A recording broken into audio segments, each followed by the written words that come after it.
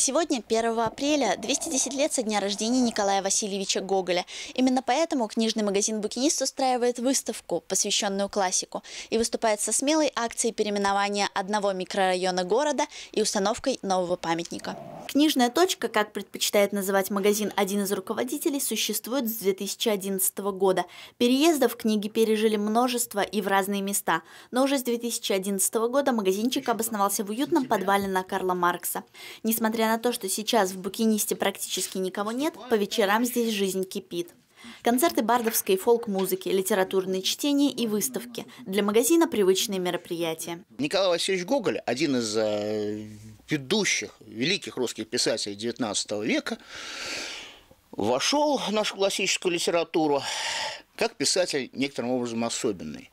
Он э, и мистик, он и реалист, как мы видим мертвые души, мертвых душах. По этому поводу мы организовали небольшую выставку. Выставку, посвященную книгам Николая Васильевича Гоголя. Сергей Бармаков руководит книжным клубом при Букинисте. Он с радостью показывает нам свои книжные владения и рассказывает про то, как появлялась та или иная книга в этом магазине.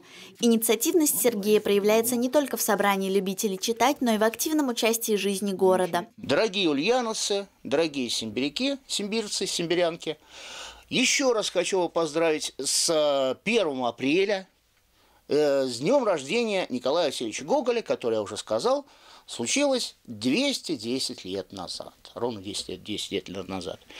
Мне очень хочется выступить с такой инициативой, собрать деньги еще на один памятник в нашем прекрасном городе. Ну, уже памятник Николаю Васильевичу Гоголю. Собрать деньги, ну, я считаю, что этого мало. Мы мы предлагаем переименовать один из наших районов нашего города, Киндяковку, Тиканьку. Посильную помощь в установке памятника могут оказать не только те, кто любит читать, но и каждый житель нашего города. Валерия Чурова, Константин Никитин, репортер 73.